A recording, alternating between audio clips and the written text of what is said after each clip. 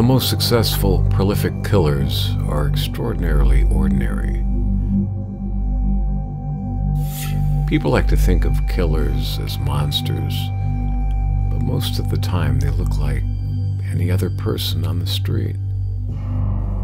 The fact is that if they looked at all strange and bizarre, they wouldn't be so dangerous, now would they?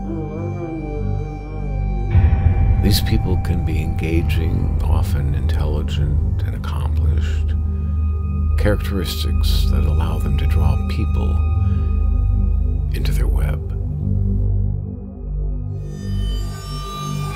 Experts seem to agree criminals commit crimes for the thrill of the act.